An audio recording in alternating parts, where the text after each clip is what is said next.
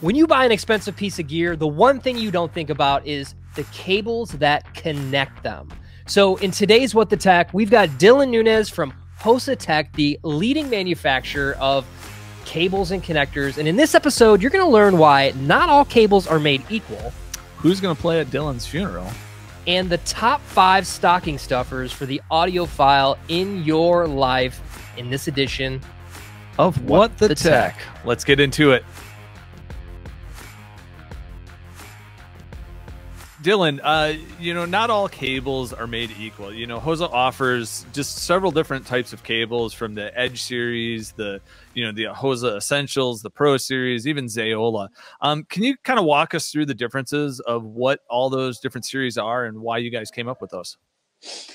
Uh, well, that's is a lot to unpack there, but uh, starting, I suppose, from the bottom, what we're known for, the essential, or for a long time, what people just call standard. Um, you know, it's entry level stuff. Usually, it's plastic. Well, it's not usually. It's always, you know, outside of maybe guitar cables, like plastic molded end cables, um, and it's really meant to be a budget friendly option that just kind of gets you in the door. Sometimes you don't have the money to spend. Sometimes people I mean, when it comes to cables and accessories, that's usually not where you want to invest your top dollar, understandably. Yeah. So it kind of gets you in the door. And then uh, up from that, we go to Pro, which is uh, a significant upgrade across all of the components. So from the conductor that's inside of it to the shielding that's in each of the cables. Um, it uses REAN connectors, uh, which are made by Neutrik. Um, and actually, all in all, the price jump from the essential to pro is is actually surprisingly really small to the point where most times I just tell people like it, you it's worth spending the extra couple bucks to get a cable that's just going to give you so much more and it's going to be more reliable as well. Buy um, cheap, buy twice. That's what I always say. True. Uh, you know, uh, and we're kind of unique in that uh, and I'll, I'll get into the other stuff but we're unique in that having that pro line is this sort of middle tier.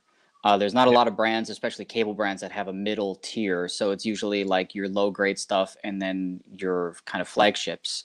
Um, so then from pro we move up to edge and edge is um, sort of like the entire sort of specked out cable. You know, I hate to throw out, you know, other people's names and things like that, but you know, when somebody thinks of something like Mogami, you know, it it's like kind of in that vein where you just have a very robust build, uh, upgrades again across the board in the size of the conductor, um, the shielding, and they use genuine Neutrik connectors, uh, which are gold plated as well, which helps protect a little bit more against uh, corrosion and things like that over time.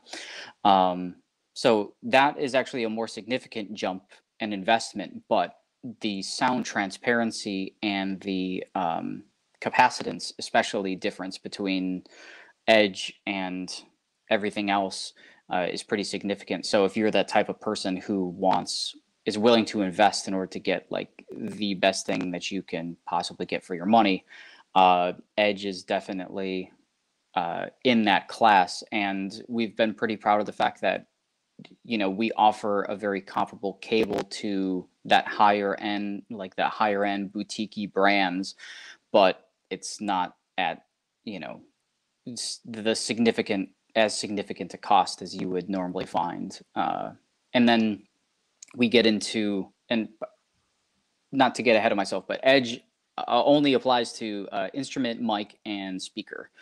So when it comes to like interconnects that you would use for like uh, plugging your interface into your studio monitors, you know, Pro is as high as we go on those, but really Pro is is about as good as you'll ever need for like you know line level signal and stuff like that. I, I would agree. I, I use like pro um, you know i always have a bunch of pro cables in my mix box for for doing live sound for interconnects like eighth inch to quarters or eighth to you know xlrs they're they're super robust and you know the mm-hmm. um, edge series stuff we're actually using right here you can kind of see under my you know great product placement but you know it's, it's, they're awesome cables you know they are really built you know like mm-hmm. i don't want to say overbuilt but they are they're truly overbuilt, you know, compared to a lot of the competitors out there. So that's that's awesome. I think Hosa is like sort of the unsung hero of gear. It's like we spend all this time lusting after gear and preamps and guitars, and then we go to the store and we don't buy a nice cable to go with it. So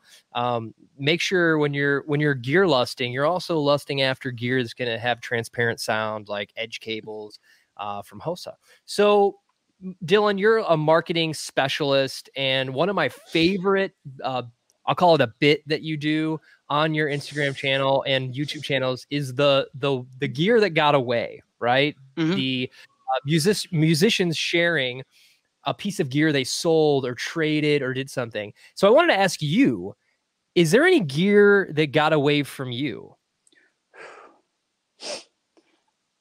I mean, I, I am a guitar player by trade, and I think as a guitar player, you can't help but constantly just shuffle through things because you you want to have everything, but you you can't have everything because you're a musician, so you you know you can't afford much. Uh, but uh, I think back to like when I was a kid, I got the the guitar that I wanted the most was a Jackson Rhoads V because I was a metal kid, Yeah. and uh, I got one for my birthday one year, but it had like it had some problems, so we took it back to uh, like Guitar Center or I think Mars Music at the time was the place if you remember that name. yeah. Uh, and so they didn't have any other ones there. So they basically told us you can we can either order you a new one and you can wait, or you can pick out a different guitar from the wall at equal value. I want it right now. So I opted to take something right now, and I went home with uh, an Epiphone Flying V, which I won't take anything away from. I still love that guitar, but it never made me stop wanting a Jackson Rhoads to the point where I still think about that. Like, even though I have no practical use for it anymore, it's just the thing that you wanted. You had it for a second, you tasted it, and then it was gone. So Yeah. that's that's probably it for me. But I was 14 at the time. I I was mean, that young. is the epitome of the metal guitar. Yeah, it really is. it is iconic. So It really is. Yeah. Absolutely. And Randy Rhoads is one of my uh, musical heroes as well. So it's like it's both an awesome looking guitar and it's like a tribute to somebody who who has like a, a big influence on you. Yeah. Cool. So, Dylan, community is going to sort of be a theme throughout this interview with you because HOSA is really one of the manufacturers that I think spends the most time with their own community, helping the community of artists. And there's multiple ways that we'll talk about. But one of them is artist relations. So, some of my friends, like Sam Pura, a producer, or Fluff, or um, all kinds of different musicians, are part of the uh, Hosa family of artists. Are there any new artists that you've added to the roster that you're excited about right now? Uh, yeah, I mean, always, always looking out for people. Um, as you can imagine, with the uh, everything that's happened this year with the pandemic, it's it's been a weird year for artist relations because nobody's really out touring. Um, people are still obviously making music and pushing stuff, but uh, it's just changed the the dynamic a lot. And not only that, but companies being unsure about like what their place is in the market you know sort of pulling back on how much you're willing to invest uh, in different things. You know thankfully we've uh, we've been doing you know well and we've come you know out of this in a good place which we're incredibly grateful for. Um, and uh, but I, I think the last the last couple people that uh, we sort of added to our uh, artist page um, would be actually two female artists um, sarah longfield who's From like a- Madison, Wisconsin. Oh, really? All right. yes I'm from Madison, so you know I will have to look nice her up. nice very nice yeah she lives in uh, she lives in minneapolis now but she goes back all the time that's where she Nice. grew up and obviously i'm originally from wisconsin as well uh oconomowoc southeastern Nice. southeastern part of the state so there is that like that scotty connection that we that we have and can bond over. Yes. At least But- you're smart and got out of the cold. I mean, I still go back to it every year though, so I haven't. Uh, I'm not that smart, but uh, it's good to Well- visit, you know. yeah. Well, that's it. You go for like a week or two, and you go, all right, that's that's enough, and then you fly back. Yeah, exactly. Uh, but uh, Sarah's Sarah's great, uh, fantastic guitar player, very unique. Uh, she does a lot of finger tapping stuff, almost like a piano.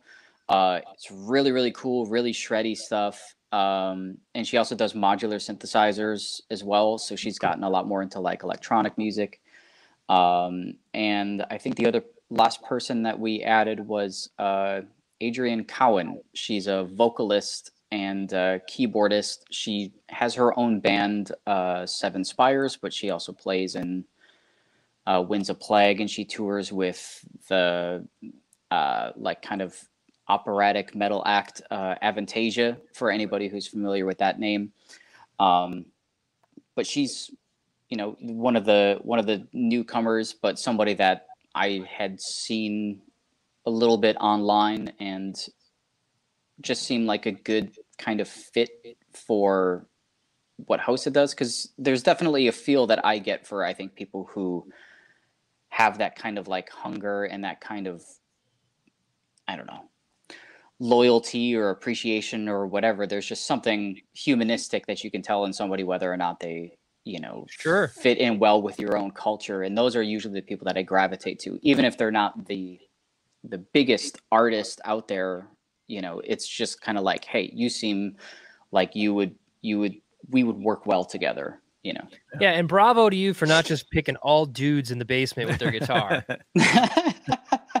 well i will tell you there's a lot of dudes in their basement with their guitars so you can't help but pick up a whole bunch of those but uh, yeah, yeah. No offense to those guys, but like Yeah. you mentioning that the last two editions were female artists just makes me think like it's another example of how diverse Hosa is and how that you are really Mhm. focused on community, not just the biggest influencer, but somebody matches that matches the values that Hosa Tech carries. Yeah, absolutely. And in our building, we have, you know, we work in Southern California. So we have people from all walks of life that work in our building. And not only that, but our CEO, Mayumi, is a woman as well. So Powerful.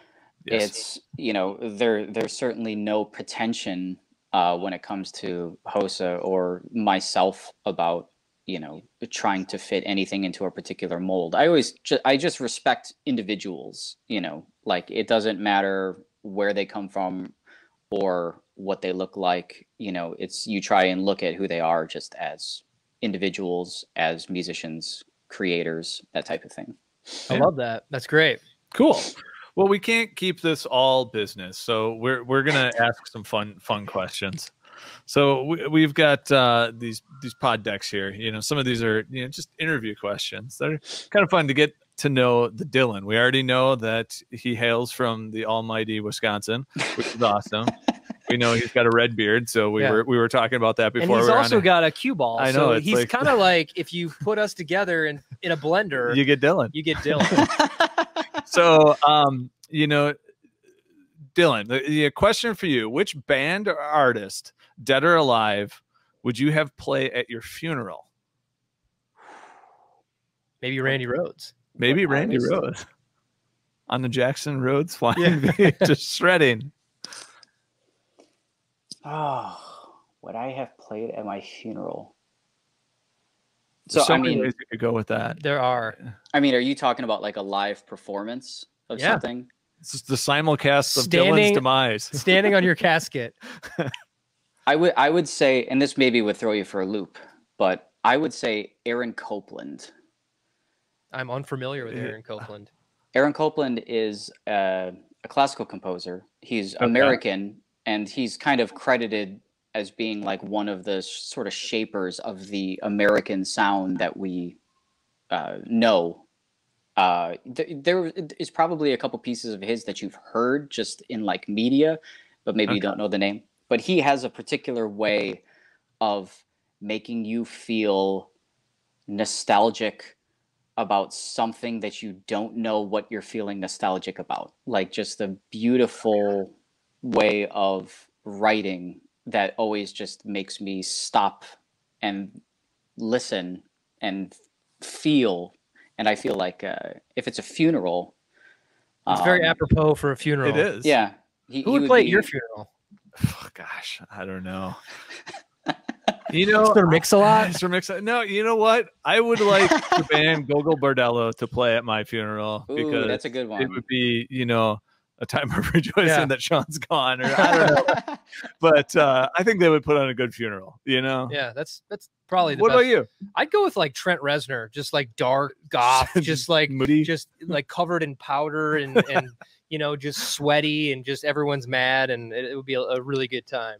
So I speaking, love how different all of our responses are. Yeah, from, I know, beautiful classical to like crazy off the wall to like I want everybody to be depressed. Maybe we could start like a festival called like Funeral Palooza. I'll I'm gonna have to check out uh, your guy because now I'm now I'm I'm, I'm intrigued. curious. Yes, exactly. send So- some stuff.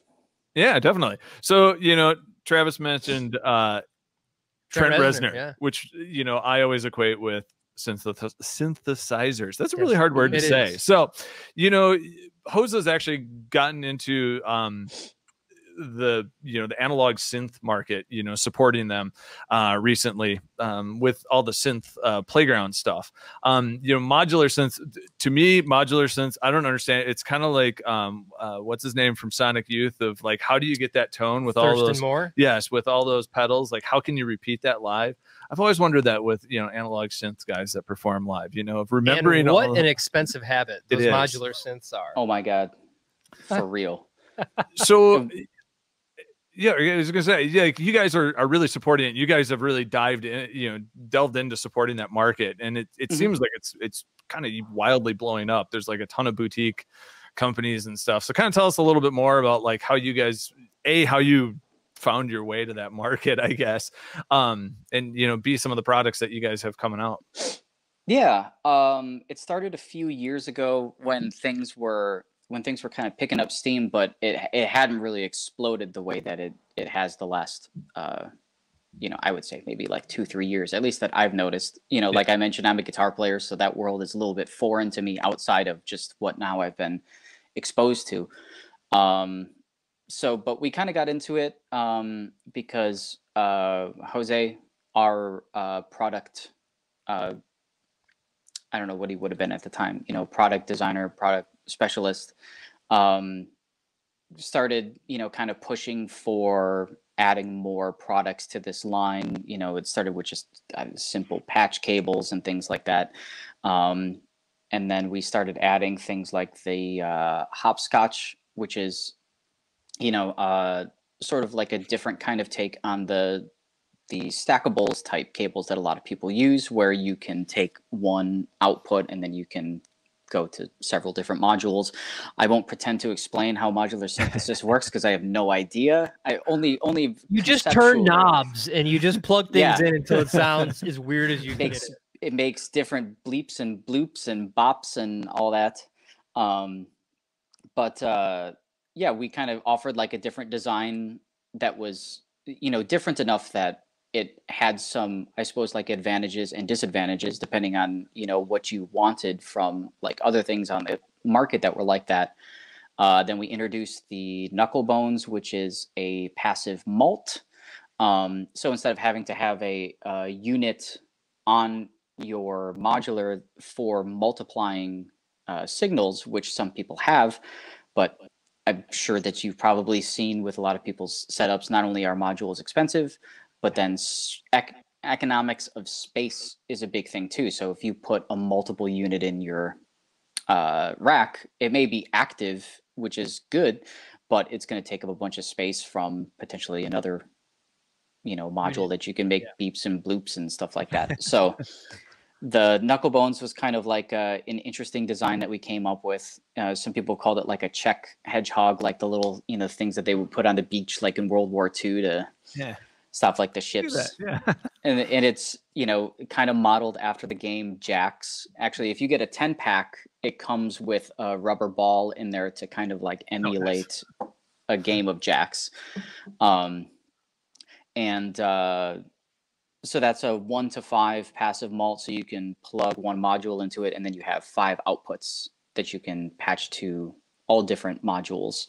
Um, and uh, then we came out with the uh, monkey bars, which is a cable holder, but you can use it in multiple different ways. It can be, uh, it has holes on the top, it has holes on the back so that you can put it up against something. You can put it underneath a table or a desk. And then it also has a, uh, an extension on the back of it so that on a like a microphone stand or a pole or anything you could um, screw it to and it will stay there. So it's meant to kind of be this like doesn't have to be in one place. You can move it around and use it in all these different ways. Um, and uh, yeah i mean i, I feel Making like we want to maybe buy some modular synths.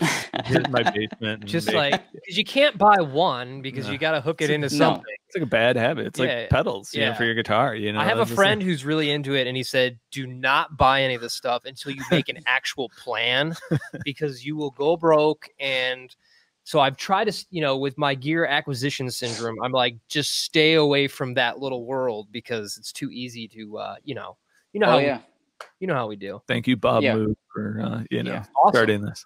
Well, there's, there's uh, a total wormhole you can fall into with that There is. So I want to ask you another question here um, that's not business related. Uh, do you have a favorite T-shirt, and if so, uh, what does it say on it? My favorite T-shirt. Um, I think I do. It's just black, and it says Bubba's Inn, and it has a pig bartender with a mustache on it. Nice. Now, it just fits. It fits my torso just perfectly for whatever reason. But I got it because I used to help a friend who sold vintage clothing, like take pictures for when he would post it on eBay and stuff like that, and just for helping. Like he gave it to me because it, it was out here in Los Angeles, and that bar Bubba's Inn apparently was in Oshkosh, Wisconsin. So Ah. it says Oshkosh on it. So he gave it to me, and uh, it's probably the T-shirt that I I Nice. wear the most whenever it's clean. Isn't it funny as you get older? Like it's not as important what's on the T-shirt; it's how it fits over your torso, like how Yeah. it makes you look aesthetically. Yeah, I don't know- for sure. I don't know about that. You know, I, I have I have way too many T-shirts. My my wife will attest that she's like, "Can you get rid of some of these things?" but it's like a journey. It's like you know, flipping through your old CD wallets. You know, of like, ah, you know, I Yeah, there's remember that time and a concert. I remember that, and and it's feels real good to go to my children and be like, "This T-shirt is older than you." We need to make some, we need to make some uh, what the tech T-shirts. What the tech T-shirts? like in the metal, you know, Yes. logo. Okay. like the ones you can't read. You know, it's just super metal. I like. Make it super black metal where it just is Yeah, like exactly. lines. Yeah, exactly. so uh community right is a big part of the theme i think from hosa tech as a manufacturer that makes you different than other companies and uh part of that community is i know you volunteer at caterina's club and Mhm. uh, hosa does things like audio engineering scholarships and pastathon where um, you're raising money and helping uh, different organizations. What are you guys up to right now as far as some of those promotions and some of those things that you're doing for the community? Uh, it's all the same stuff that we've uh, been doing because, uh, like I said, we've we've been lucky enough to, you know, adapt to this changing world this year and uh, to be still here. And uh, philanthropic philanthropic uh, efforts have always been really important to uh, Mayumi since uh, she came around, and it, they don't always have to do with music. You know, it's just about being involved. So, you mentioned Caterina's Club, um, which is you know where sort of the pastathon comes from. So hungry kids in our areas, you know, that don't have a hot meal, uh, Caterina's Club uh, through uh, chef uh, Bruno Serato um, give out hot meals for free to people in the community. Um, and even now during COVID times, you know, he's never stopped. Even when his restaurant got closed down, he still uh, continued to make food and Yeah. serve it. And uh, we've donated, you know, money to that cause, but also uh, every year, maybe you know, obviously it's complicated this year, so we haven't been able to do it the same way. But uh, we would raise uh, like we would have a contest in our office so that all the employees would get involved and we would go out and we would buy pasta and we would buy sauces and all the things that we would donate um, and then whatever you know winning team would get you know the company would pay for lunch for them or you know something something like that. They incentivize it but it gets everybody involved so that we're not just the companies giving money but all of the employees are personally involved in it uh, as well. Um, so we, can i ask can we get in on that somehow can we send like a case of of rigatoni or something the next time you do it can you let us know so we can get involved in that yeah no absolutely that would awesome. be cool i mean you can address it to me so that it can count towards my well, uh, totals. that, that, works. She's gonna be on behalf of you know. So. Yeah. No, a- absolutely. Um, like I said, this year is kind of weird. So we haven't had everybody like in the office because I'm I'm working from home, uh, to be able to like bring everything in. But we still are we still are collecting money, and we have like a little thing out in the office for anybody who comes in. So, uh, still trying to keep that you know, kind of going, even though it's been a bit of an off year, but uh, trying to support what they're doing because they haven't stopped and it's it's inspiring and it's important and it obviously affects our community so it means something to us. Um, one thing that we probably are the most involved with is uh, an organization called uh, corazon de vida and they support uh, orphanages in baja mexico. Uh, because in mexico there there are no uh, to, to my understanding, there are no uh, state or government services that provide support to orphanages and like abandoned kids. Um, so this organization uh, collects money, collects uh, items, um, and support for all these private orphanages because they're all private run, privately funded.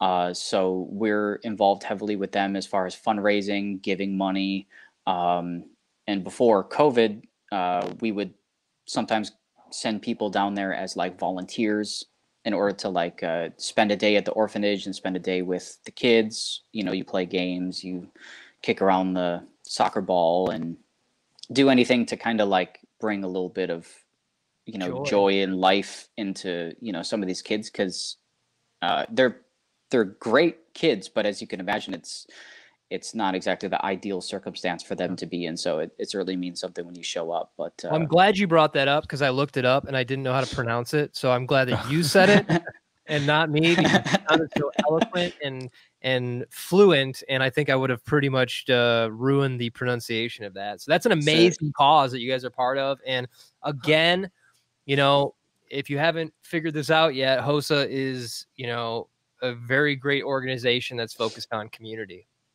Yeah, I actually really we you know every year at at NAMM, unfortunately this year we won't be able to get to do this, but we always have uh, a very early rep meeting with with HOSA.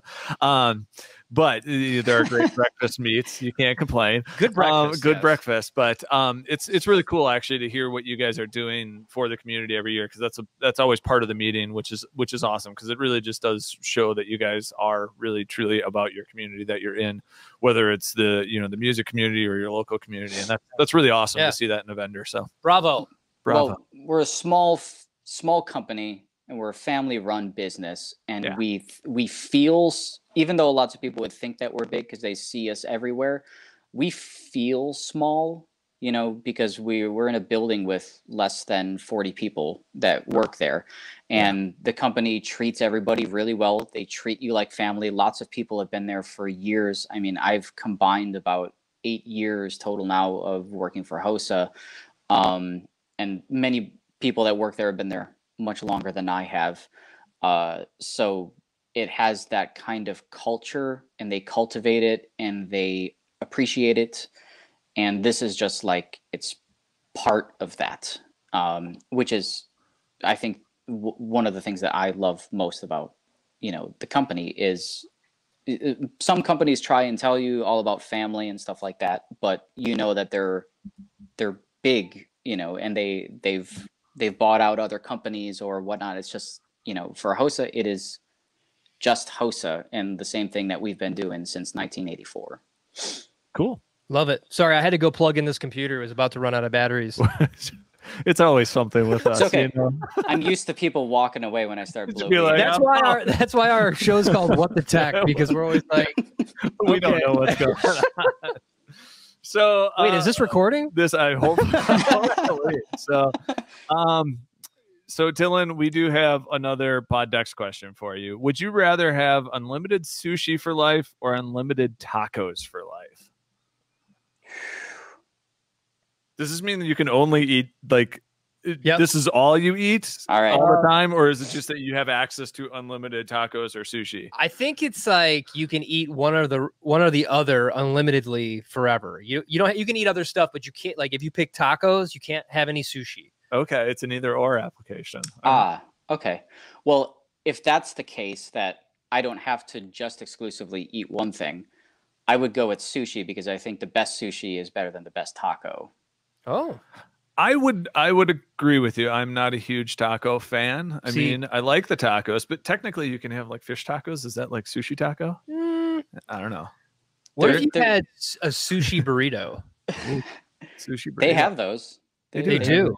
Some Japanese places do do make those, or like I should say, kind of, you know, what do they call it? Uh, hybrid, or you know, But here's the thing you're not thinking about is Fusion, a there you go. taco is basically a burrito is basically an enchilada. Like you can have a tortilla, more- meat, vegetables, and cheese. Yeah, yeah, Yeah, I mean, all it it's just really, I mean, like if you crunch up a taco, you got taco salad. You know, if you, I don't know, I'm just thinking I'm- outside of the box. I'm gonna stick the Japanese route and go with the Okay. the sushi. Wait, isn't uh isn't um octopus called taco in Japanese? I think. Is it? I think so. Don't quote me on that. We're gonna have to fact check. We're that. gonna have to It fact might check. be. It's kind of just like Redbeard's, you know, like Hey Siri, what is octopus in Japanese? In Japanese, octopuses. Taco. Yay! Thank you, thank you, Siri. I'm trying to be nicer to Siri. She's always uh, most most of the time helpful, but when she's not, I'm very rude to her. So thank you. We are now going to have to mute that in the feed because everyone's phones are going to be like, "Yes, what? Do, what? Do you, what's going on?" That's a Sure. The only Scotty reason boy I right remember there. taco, uh, I I ate at a restaurant in Pittsburgh. I think it was Pittsburgh that was called Taco, and You had sushi, they had sushi, but they also served tacos. But Oh, okay. so it was kind of a whole fusion thing. and all the waiters were octopuses. Yeah, was- they had octopus tacos. That would be the perfect synergistic meeting between the two. so um we're going to pause because the phone is ringing but um you know tis the season uh you know stocking stuffers we all need stocking Mhm. stuffers so we all have the audiophiles and the musicians and you know, Content the, creators, the and- content creators and the techie people in our our life so what are your top stocking stuffers from hosa this year Uh, I mean, I think one thing is we're talking about stockings. Uh, I think cable ties is always like a must because you always need those way more than you, they're the thing you never think about. But then once you have them, you're like, I need more of these in my life. I always have Uh, a pack in my my mix box just in case Yeah, but you're an anomaly because you have one of everything in that box. that's true. But you know, you never know when you might need to to wrap some things, Yeah. even if it's just making something look nice on stage. That you know, you just want to bundle things. You know, cable All right, ties. that's a great Absolutely. answer. What's number two? Uh, Goby Labs, uh, equipment care kit. Uh, so little two ounce bottles. You can travel with those when you have, you know, when when gigs were a thing, and they probably will be in the future, probably. Uh, but comes with microphone sanitizer, screen cleaner, and uh, headphone cleaner. You know, things that everybody at some point or another pretty much uses. Um, Actually, I would be willing to guess there's a lot of people that aren't cleaning their instruments. So now that you're not out playing shows, maybe take a little time and clean up that you spend so much on. Clean off your your ear goo off your headphones and uh, just spend a little time keeping it clean. Yeah, no, I made I made some really really terrible quarantine videos uh, along those same lines some months ago uh, about just trying to motivate yourself to just do just just do a little bit.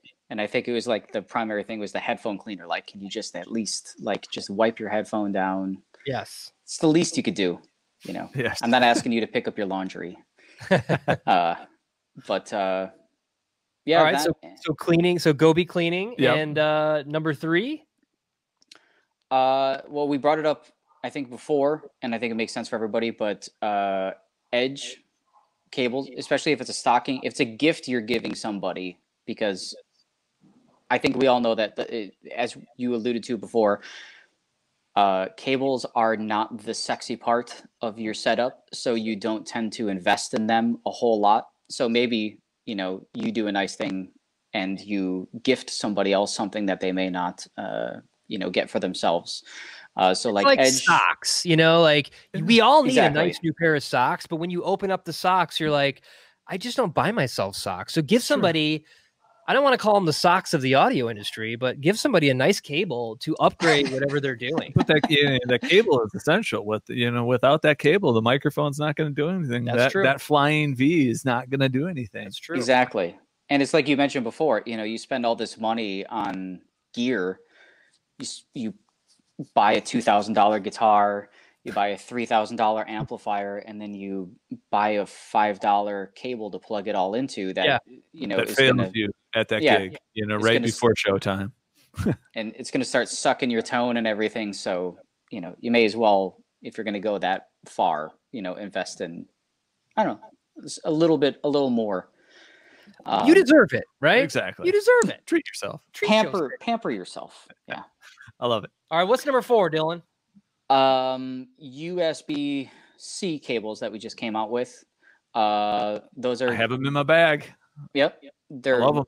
Becoming more and more prevalent laptops gaming devices phones um, so it's a good thing to just have extra lying around. I mean in my place now i have uh, usb cables like everywhere to the point where like if i walk into a room i don't want to have to drag a cable with me. It's like already sticking on the wall ready for me to plug my phone in or whatever. Do You know what the best part of those USB C cables are? Is they're freaking long. Oh yeah, they they're- long. You know, long gone are the days of that one foot cable that you're like, man, yeah. what, what can I do with Yeah, let me get some distance. It's kind of like when you were, you know, back in the day when you had a phone with a cable. Yeah. You had to get the long, that long, twisty cable, so you Yep. could go outside of the room and hide in the closet, so your parents couldn't hear you talking to your your girlfriend in sixth grade. It's kind of like that, but it's really not. It's really not. It's just all about charging your device. But you Yeah, know, Sean's been raving about those USB. I love them. Every time I talk to him, he's like, "We got to do video on the USB C cable." they're So awesome. I'm glad you brought that up. And finally, number five. Uh, I would say pro interconnects because if you're doing audio, even if you're just like doing a little recording at home, chances are you're probably using a pair of speakers. Mhm. Chances are you're using an audio interface, and the chances are you're probably just using the cheapest cable that you could find to connect that interface to your speakers. And uh, I will say, out of all the things that I've ever sent to artists or talked to them about, and you know, I send them, they, they check out Edge or they they have good things to say. It, the the thing that they notice the most immediate difference for is the interconnect going from the um, interface to their speakers. Like immediately, they're just like it's clearer. There's more volume. There's less noise. Uh, because when it comes to instrument cables, uh, I mean, the build of it, of course, matters. But we start talking about like really small, nuanced, small percentage differences between you know when you start going up and up and as you start going up further those percentages get smaller and smaller as as far as like the differences that you could hear or feel but with pro interconnects uh i mean if you're mixing if you're recording you know you want to have the best uh, replication of the audio that's coming out of your interface and into your speakers um, rather than something that's going to have a whole bunch of noise and uh, is going to be a bit muffled or just affected in a way that's going to change the way that you listen and mix which is going to change the way that somebody else is going to hear it on their speakers or earbuds or whatever so Right. you know i also like to mention this too with pro cables you know people need you know we've, we've become such a disposable nation of toss it away when it's done and you know the pro cables the edge cables they're all serviceable so Mhm. unfortunately you need to learn the ancient art of soldering if you need to repair but that is something that every techie musician. Everyone should know how to do. Don't let that die. But um, you know, your cable lives on. It's, it's you know, to me that's awesome. You know, That is Yeah. important, but I will mention that all of our cables do come with a lifetime warranty. So that is true. if anything goes sour on you, send us an email and we'll send you out a replacement. See, because HOSA cares about the community. I keep They telling do. you this, man. so, Dylan, this was awesome. Uh, we really appreciate you coming on What the Tech. I feel like I got to know you even more than I already knew you, and I'm glad we get to share this message about HOSA. If you're interested in finding out more about, about HOSA Tech, just go to hosatech.com or you can visit audiobiz.com if you're looking for a demo of a product or where you want to buy your next great cable. So, until the next time, uh, we'll see you on uh, What the Tech. Yeah. And Dylan, next time you're back in Wisconsin, give us a call and we'll do shotskis or something. You know, like you know, we'll have have a good old time. Cool, man. I'll be back later this month, so All right. maybe then. Exactly. We will see you very soon then. All right. Thanks a lot. right, later, guys. Thank you.